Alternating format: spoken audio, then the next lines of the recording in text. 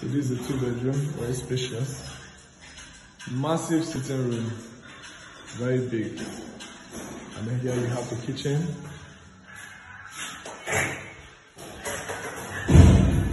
Also sizable.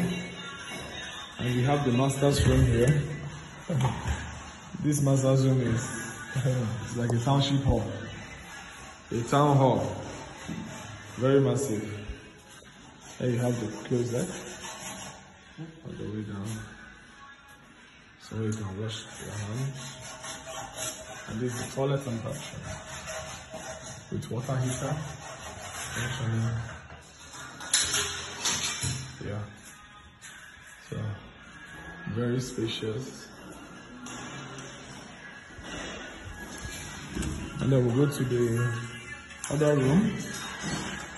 Also very sizable and has a balcony, you can see.